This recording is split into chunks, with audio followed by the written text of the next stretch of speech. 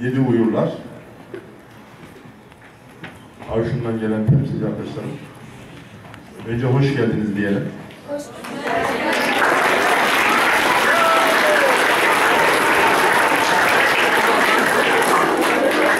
Şimdi geçen hafta Avşin'de bir ödül töreni vardı. Burayı iyi dinleyelim çocuklar. Avşin'i biliyorsunuz Eshab-ı Külliyesi. Az önce resimde burada görülüyor. Çoğunuz ziyaret etmiş, görmüşsünüzdür. Bunlar dernek olarak bir etkinlik düzenlemişler ve bölgedeki başarılı olan iş adamlarına, bürokratlara, milletvekillerine, belediye başkanlarına ve başarılı olan eğitimcilere ödül verdiler. Sağ olsunlar. Onlara teşekkür ediyorum. Eğitim dalında da Özel Yıldız Koleji'ne eğitimdeki yaptıkları hizmetlerden dolayı ödül verdiler.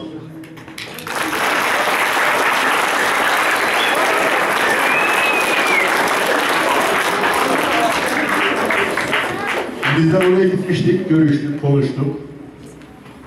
Zaten tanışıyorduk, tekrar e, teyit ettik, tanışmamıza samimiyet getirdik.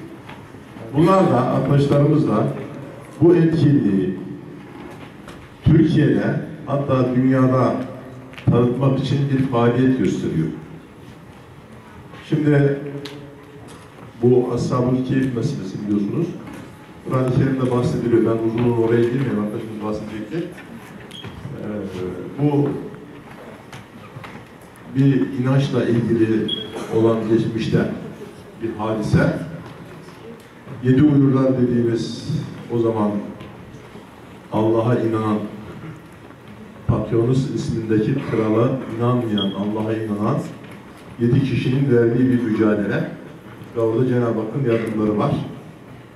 Temsilen arkadaşlarımız tanıtmak için buraya gelmişler. Dünyada 33 yerde bu Ashab-ı Keyif'e ait burasıdır, burasıdır, burasıdır şeklinde bir tanıtım var. Ve hatta oraları turistik hale getirmek için çalışmalar var. Ama bütün bunların yanı sıra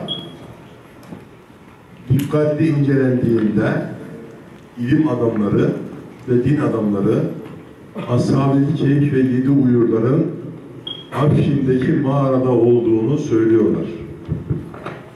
Biz geçen sene şeye de gitmiştik, hatırlarsınız belki içinizde öğrenciler vardır. Tarsus'taki Ashab-ı Keyfi buradadır dedikleri yere de gitmiştik. Ama Kur'an-ı Kerim'de bahseden gerçeğe burası uyuyor. Şimdi bu konuyla ilgili arkadaşlarımız bir seminer tarzında sizi bilgilendirecekler. Güzel bir konu, merak edilen bir konu. Kur'an-ı Kerim'de geçen bir mesele. Peygamberimizin bahsettiği bir konu.